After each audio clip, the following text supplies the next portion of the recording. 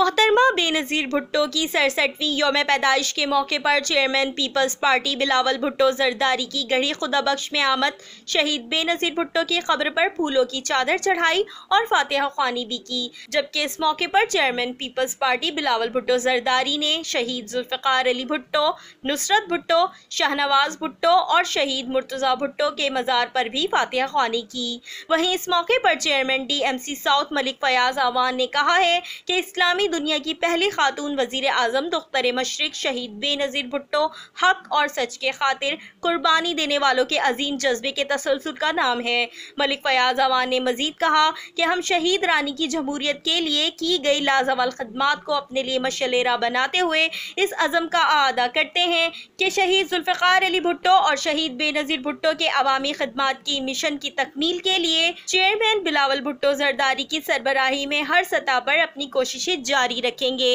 Laiba Khan metro seven city news Karachi.